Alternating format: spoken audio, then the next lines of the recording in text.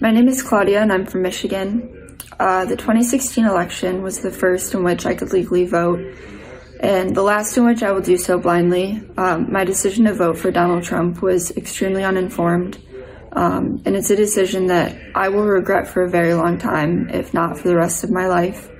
Um, I've since dedicated my college career to study political science and, more importantly, to learn about all of the inequalities that plague our country and so many in our society. Um, but I don't think that it takes a college degree or a rocket scientist to understand that this presidency and the upcoming election um, are a matter of life and death in our country. Um, I will be voting for Joe Biden, and I don't fully agree with everything that he stands for, but I do agree with taking our power back and rebuilding America and getting rid of Donald Trump. And I think that in this moment, it is ever so important for people to inform themselves and to inform the people around them and take a stance and get out and vote like your life depends on it because it does.